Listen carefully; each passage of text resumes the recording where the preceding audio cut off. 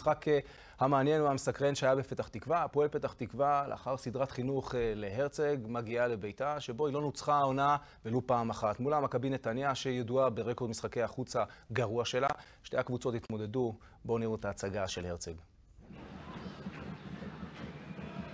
אדרי, שבחון פנוי, אבל אדרי הולך על ברק בכר. עכשיו הרצג מחכה לכדור, הרצג מגיע, נוגח, פנימה! 1-0 להפועל פתח תקווה. בכר רואה את הרצג, הרצג רואה רק רשת, ו-1-0 להפועל פתח תקווה. מבצע של כדורגל, שלוש דקות מהפתיחה. תסלח לי, אני כל כך רוצה להת... להתלהל מהגול של הפועל פתח תקווה, אני לא יכול לנוכח זה שמכבי נתניה פשוט מאוד עומדת ומסתכלת. לא יכול להיות כל כך הרבה שחקנים של מכבי נתניה בהגנה. אחד לפני ארצג, אחד אחרי ארצג, ונותנים לו להתרומם, אבל בלי שום ספק הביצוע, גם הרמה של ברק בכר, חדה למרכז הרחבה, וההתרוממות של ארצג, פשוט מאוד אה, גול יפה מאוד מבחינת הפועל פתח תקווה. אוסיבוב מוצא את שבחון, שבחון רואה את אדרי, הכדור אה, מיועד לאדרי, אבל עכשיו צרפתי.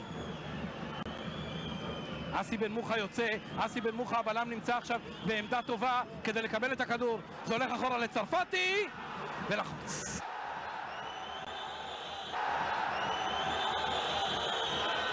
כרטיס טוב, גם אסי בן מוחה לא קונה, ולירן וקסברגר יראה, לו אותו. אם דיברנו על צעירים, אסי בן מוחה רק בן 18 וחצי, הבלם של אה, מכבי נתניה. ברק בכר זה נעדף עכשיו ללוזון, שבועט פעם אחת. היה פה שני שנייה, פנדלים. ויש כאן כדור עונשין פנדל. מה-11 מטרים על העבירה שצרפתי מבצע. לא על השריקה, לא על העבירה הראשונה. שבשניהם היה פנדל בטוח של 100%, גם הפנדל השני וגם הפנדל הראשון. הפנדל הראשון היה חייב להישרק לפני זה. הכל אתה תקבל מיד בהילוכים חוזרים. זהו כדור העונשין מה-11 מטרים הראשון שנפסק העונה לחובת מכבי נתניה. וקסברגר מתרחק, בואו נראה. זאת העבירה שמבצע צרפתי על ברק בכר, על זה בכלל אין צל של ספק. והרצג, שבדקה השלישית שלח את טאובר לאסוף כדור אחד מהרשת, ינסה לכבוש את השמיני שלו העונה. 2-0. 2-0 להפועל פתח תקווה. לא פנדל גדול, בכלל לא, אבל פנדל! אני דווקא חושב שהפנדל מאוד מאוד גדול, הוא חיכה שהשוער ייפול ובקור רוח, כאילו הוא בועט פנדל של יום שישי אחר הצהריים בפארק, אה, שם את הכדור במרכז השער. שמע, זה לא ייאמן שמבחינת המצבים זו התוצאה. מכבי נתניה באה לפה והגיעה למצבים, פשוט מאוד לא השכילה להפקיע. באיזה קלות הם מקבלים שערים. 2-0 לזכותה של הפועל פתח תקווה. שני שערים של הרצג.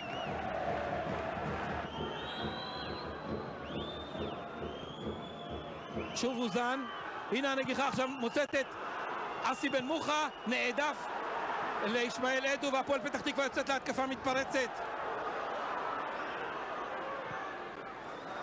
ומה צריכה מכבי נתניה בשביל לתת גול? מה היא עוד צריכה?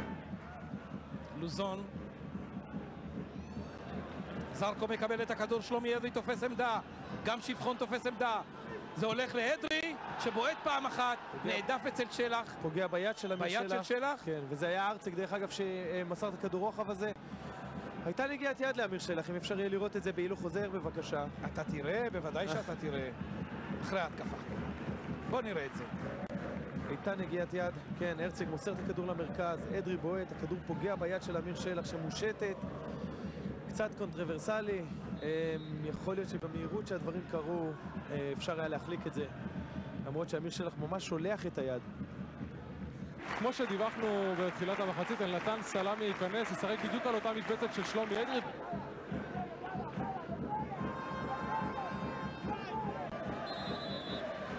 כדור יהיה של הפועל פתח תקווה.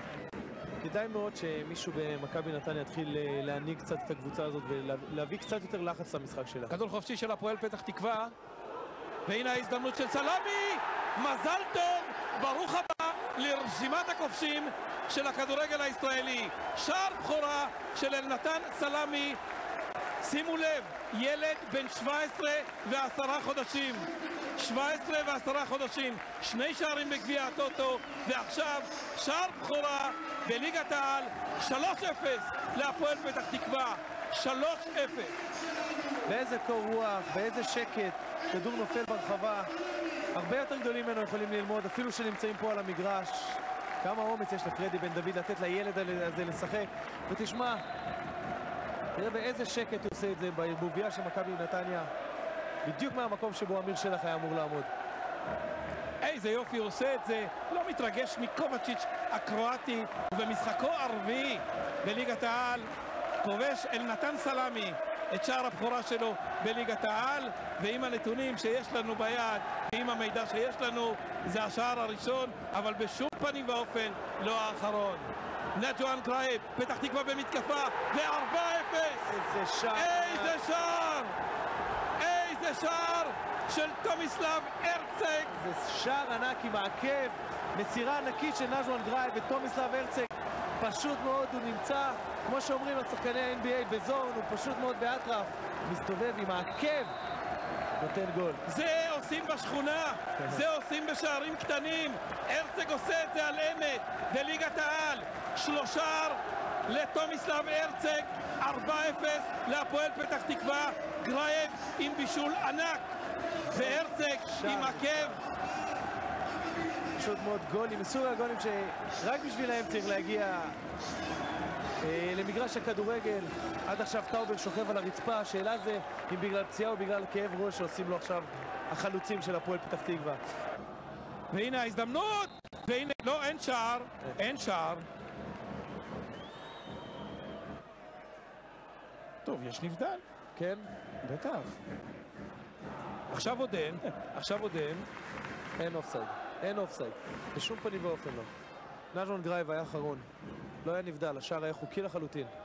הנה יוצא תומיסלב הרצג, הרצג. דודו רצבי נכנס במקומו. ומי חשב לפני כמה ימים שבאמת פרדי דוד ייתן לו את הקרדיט הזה לקבל את מחיאות הכפיים אה, אחרי משחק כזה. אני מזהה פה בעיה של חוסר ריכוז. הגולים האלה שאנחנו חוטפים דקה שלישית, שער כזה קל ו... קל שזה במושגים של כדורגל, לא יכול להיות שבדקה שלישית יעמוד החלוץ הכי טוב שלהם והכי מסוכן ומדברים על זה והוא מפקיע שער בקלות ו- ודקה 71 אה, ודקה 70 שוב פעם חוסר ריכוז במצב נייח אנחנו מקבלים תוך uh, דקה אנחנו מקבלים שני שערים וזה דבר שאסור שזה יקרה. גם אחרי הניצחון של שבוע שעבר אמרתי את זה ואמרתי שאנחנו נילחם עד הדקה האחרונה. אנחנו לא נצא מהעניין הזה בקלות וכמה שיותר נפנים נעשה את זה יותר מהר ונצא יותר מהמצב הקשה. ערב טוב מנור.